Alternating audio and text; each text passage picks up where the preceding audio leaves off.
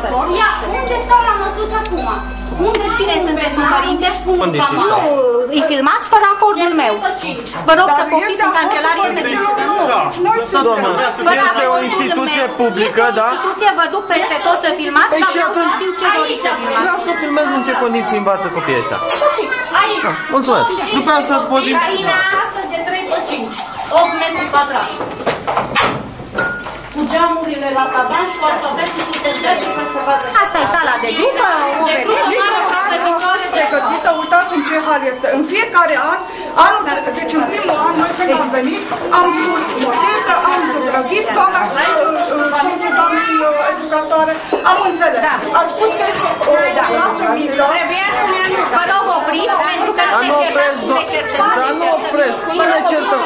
Eu hotărăsc ce... În cancelarie, vă punem nu vreau, doamne. Dar nu vreau, eu hotărăsc ce fac cu filmarea. Eu hotărăsc ce se face. Nu, eu hotărăsc ce fac eu filmarea și cum o fac. Dacă E vă dau ceva voie de să ascuns? filmați. Nu. Ia încercați să nu-mi dați Aici voie. o sală de grupă din fiecare Câți an. copii aveți în, în sala asta? Pe 5 metri pătrați. Asta nu e problema dumneavoastră. Da? Vă rog să Ba, poftiți în este cancelarie să Copii la măsuțele, caietele s-au umplut. Unde spre Vă rog să ieșiți, nu mă faceți, vă rog poftiți în cancelarie. Chemați doamnă poliție dacă să vedem cine are dreptate până la urmă.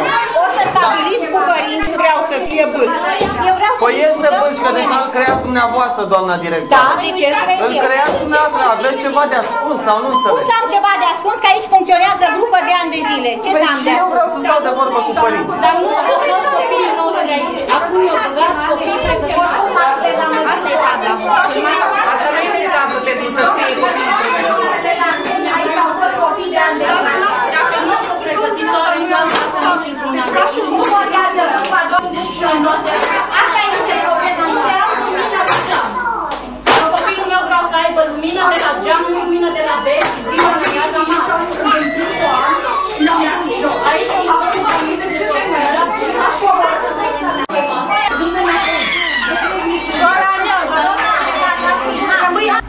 Nemulțumirile părinților sunt vis-a-vis de spațiile pe care le putem oferi, în sensul că noi avem patru grupe, patru săli de grupă mari în care funcționăm, dar datorită solicitărilor mari, uh, am înființat și uh, grupe în săli mai mici, bineînțeles, grupe care să fie mai puțin numeroase.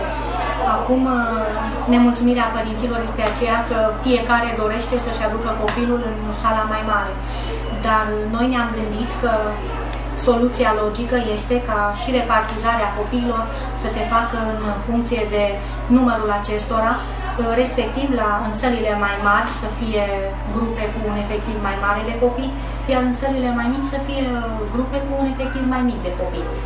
Le-am mai oferit o alternativă, respectiv să funcționăm în în schimburi, adică o săptămână se poate veni prin rotație după masa într-o sală de clasă mare. De când au început copiii grădinița din primul an, când au fost în grupa mică, au fost într-o clasă micuță de 2 pe 4, mai mult nu raport, la parter. N-a zis nimic, am fost de acord, am renovat clasa cu ajutorul doamnei educatoare, soțul acesteia a venit în concediu n-am mai plătit mâna de lucru și s-a făcut clasa. Grupa mică, grupa pregă- mijlocie, tot acolo s-a făcut. În grupa mare au fost mutați într-o clasă mai mare. Bun, am fost mulțumiți, erau copiii mărișori, cu toate că am tras cât au fost mici, erau 20 și ceva de copii în clăsuța aceea mică, tot timpul au fost bolnavi. Când strănuta un copil, automat 5-6 erau, se bolnaveau. În grupa, în clasa mare am fost mulțumiți, Acum când am venit în grupa pregătitoare, ne-am trezit cu copii într-o clasă de 3 pe 8. O clasă micuță, nearanjată, 5 bănci la 25 de copii.